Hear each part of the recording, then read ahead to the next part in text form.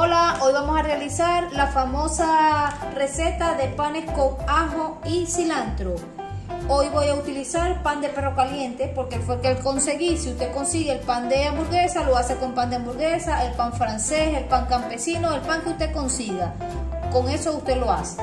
Lo primero que vamos a hacer es cortar los ajos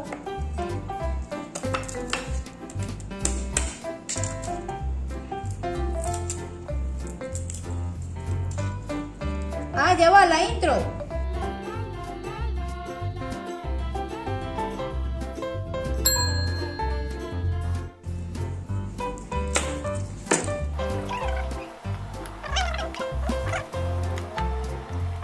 Recuerda suscribirse a mi canal para tener más seguidores y así me podrán ayudar para seguir subiendo videos.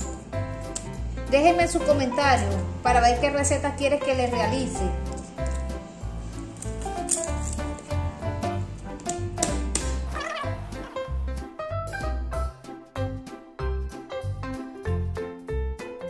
Una vez hayamos este, ya picado los ajos, vamos a proceder a picar el cilantro. Si en su casa tiene cilantro, no tiene cilantro, sino que tiene perejil, usted bien lo puede hacer con perejil en vez de con cilantro, pero a mí me gusta más el cilantro. Y también lo puede hacer combinado, cilantro y perejil. Recuerde lo que siempre le digo, el chef de su casa es usted mismo. Atrévase, haga la receta.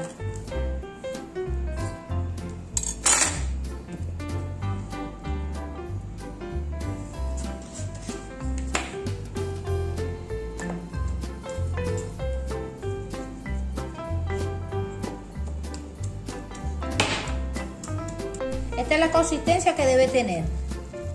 ¿Ve? Una, como una especie de un, una cremita. Ahora venimos y se la echamos a la mantequilla.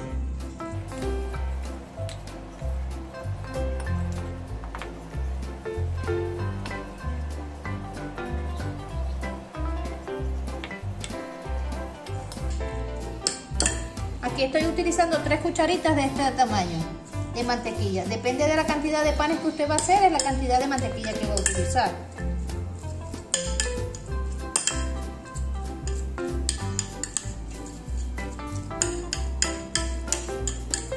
Una vez que lo tengo todo revuelto, mezclado, yo le echo un poquito de queso de año. Si usted no le gusta el queso de año, sencillamente no lo, no lo coloque.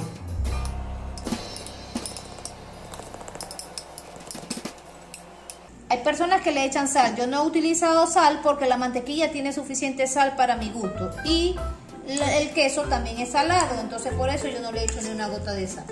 Pero si usted por casualidad usa una mantequilla que no tiene sal y le quiere echar sal, le puede agregar la sal. Va a quedar así, ¿eh? Una pasta homogénea, todo compenetrado.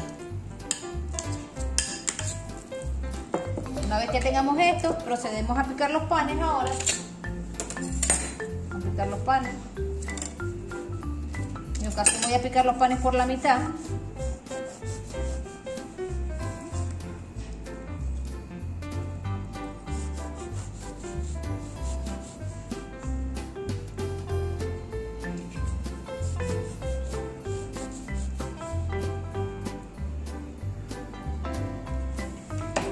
Luego que pico los panes le agrego esto.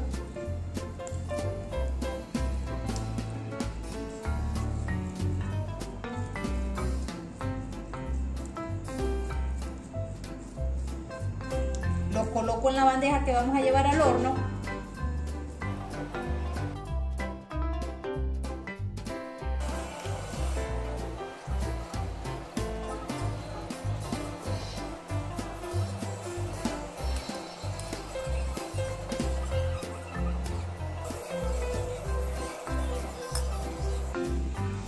Una vez que ya los tengamos todos así, los vamos a llevar al horno unos 15-20 minutos. Al final del video les digo cuántos minutos exactamente los dejé en el horno.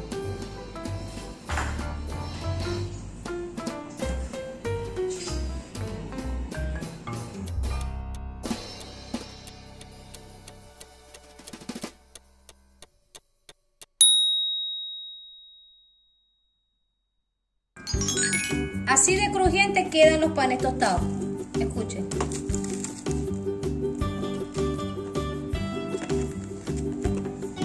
Si ustedes no tienen una bandeja, ¿cómo colocar? Si ustedes no tienen una bandeja donde colocarlo, ustedes lo pueden poner directamente en la parrilla del horno. Yo, por eso no hay inconveniente si no tienen la bandeja.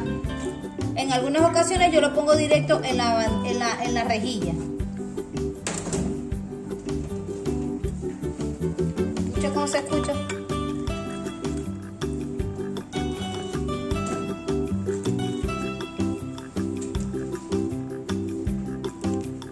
Estos panes ustedes lo pueden acompañar con una pasta, con una salsa de tomate seco, diversas formas que pueden utilizar estos panes.